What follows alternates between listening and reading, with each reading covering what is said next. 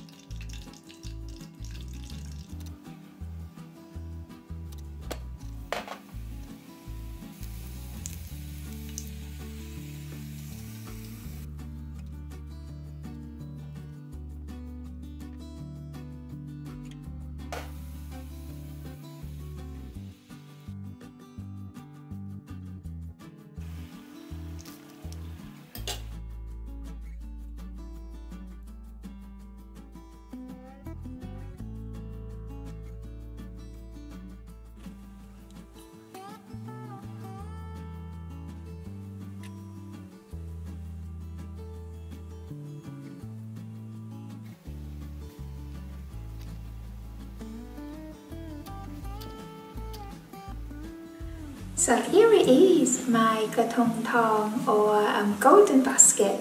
Thai style snack, a really old traditional Thai style snack to celebrate Loi Krathong festival. You can get ready-made sauce so easy from Essence of Thailand as well.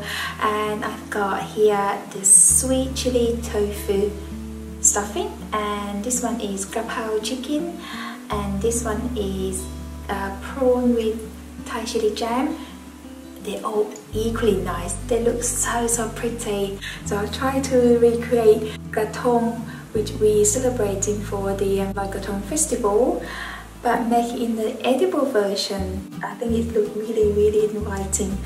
I'm just going to try one. Mm, I go for the prawn with the chili jam. Mm.